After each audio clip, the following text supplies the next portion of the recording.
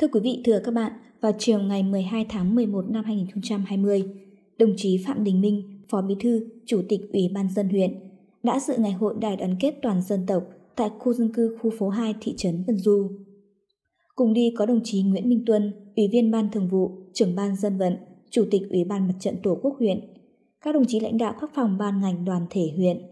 Trong không khí vui tươi phấn khởi của ngày hội, các đại biểu và nhân dân khu phố 2 thị trấn Vân Du đã ôn lại lịch sử 90 năm xây dựng trưởng thành của Mặt trận Tổ quốc Việt Nam, đánh giá kết quả công tác mặt trận ở khu dân cư, hưởng ứng các cuộc vận động phong trào thi đua, nhất là cuộc vận động toàn dân đoàn kết xây dựng nông thôn mới, đô thị văn minh. Nhân dân trong khu phố luôn đồng lòng, đồng sức phát triển kinh tế, chuyển dịch cơ cấu cây trồng, ứng dụng khoa học kỹ thuật công nghệ cao, phát triển mô hình cây ăn quả, nuôi ong lấy mật, chăn nuôi dưới tán rừng cho thu nhập cao. Tuyên truyền vận động nhân dân hiến đất, đóng góp tiền ngày công để hoàn thiện kết cấu hạ tầng. Đến nay, toàn khu phố không còn hộ nghèo và hộ cận nghèo. Năm 2020, khu phố có 135 trên 137 hộ gia đình đạt danh hiệu gia đình văn hóa, 134 gia đình thể thao đạt tỷ lệ 95,6%. Bà con trong thôn luôn tích cực đoàn kết xây dựng đời sống văn hóa, chăm lo sự nghiệp giáo dục, phong trào thể dục thể thao xây dựng cảnh quan môi trường xanh sạch đẹp.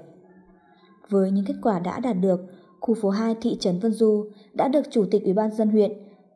tặng giấy khen khu dân cư điển hình tiên tiến tại Đại hội thi đua yêu nước huyện Thạch Thành giai đoạn 2015-2020 và vinh dự được Chủ tịch Ủy ban dân tỉnh tặng bằng khen tại Đại hội thi đua yêu nước lần thứ 10 của tỉnh. Bày tỏ sự vui mừng phấn khởi được chung vui ngày hội đại đoàn kết với nhân dân khu phố 2 thị trấn Vân Du, đồng chí Phạm Đình Minh, Phó Bí thư, Chủ tịch Ủy ban dân huyện đã chúc mừng và biểu dương cán bộ nhân dân khu phố vì những thành tích kết quả nổi bật trong phát triển kinh tế, văn hóa xã hội, thành quả từ sự đoàn kết gắn bó hỗ trợ nhau cùng phát triển của mỗi người dân trong khu phố. Đồng chí Chủ tịch Ủy ban dân huyện đề nghị cán bộ nhân dân khu phố tiếp tục đoàn kết phát triển kinh tế làm giàu chính đáng, hỗ trợ các doanh nghiệp, các nhà đầu tư trong công tác giải phóng mặt bằng, xây dựng các dự án lớn trên địa bàn. Tiếp tục quan tâm chăm lo bảo vệ môi trường, đảm bảo an ninh trật tự, tham gia tích cực các hoạt động văn hóa thể thao, tiếp tục quan tâm xây dựng tổ chức đảng, phong trào khuyến học, khuyến tài để đưa khu phố 2 thị trấn Vân Du ngày càng phát triển. Nhân dịp này, đồng chí Chủ tịch Ủy ban dân huyện đã tặng quà cho cán bộ và nhân dân khu phố 2 thị trấn Vân Du và tặng quà cho 10 hộ gia đình có hoàn cảnh khó khăn của địa phương.